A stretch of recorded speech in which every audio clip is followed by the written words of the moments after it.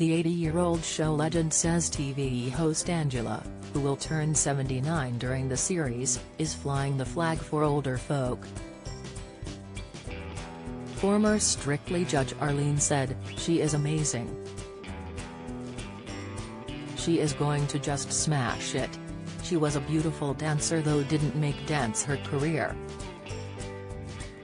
She will take to the ballroom styles on the show, I can't wait to see her get down and do Latin. Age is no barrier to dance, people who dance are immersed in it. For them, getting up to dance is like getting up to walk. Although your body is not the same when you get older I think Angela will pull it off.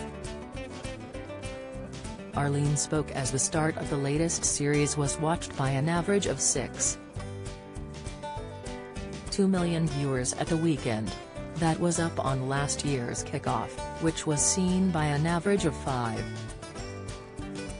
4 million, while 2021's launch drew in 7 million. Saturday's show, when the 15 celebrity dancers were teamed up with their pro partners, had a 6. 7 million peak. Vanessa Feltz on Strictly, let's bask in the joy of Angela Rippon Some stars were told the dance they will perform in their first live show. Ex-Love Island contestant Zara McDermott will do the cha-cha with Graziano Di Prima while Bad Education actor Layton Williams will be trying the samba with Nikita Kuzmin. Meanwhile former Coronation Street favorite Ellie Leach, paired with Vito Coppola, was horrified when she was informed that she would be dancing the jive for her first live performance. The launch episode also included a tribute to the late dancer Len Goodman, who became a judge on the BBC programme in 2004 and made his final appearance on Strictly's Christmas Day special in 2016. Don't miss. Real-life Strictly couple are all over each other during filming, TV. Strictly's Nadiya Bychkova opens up on disappointment at no celebrity partner, TV. Strictly Come Dancing fans predict series will make history after Layton debut, TV. Len, who was known for crying out 7.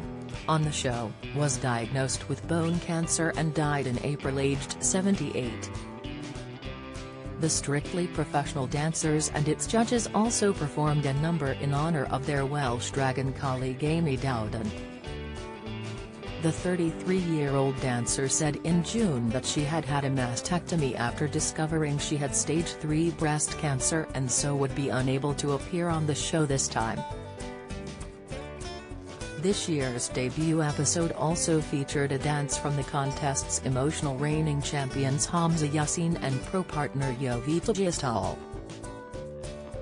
The pair reenacted their Week 4 salsa performance from the last Strictly, and there was a rendition of Free Yourself from British singer Jessie Ware. Strictly Come Dancing returns on Saturday at 6.15pm on BBC One and BBC iPlayer.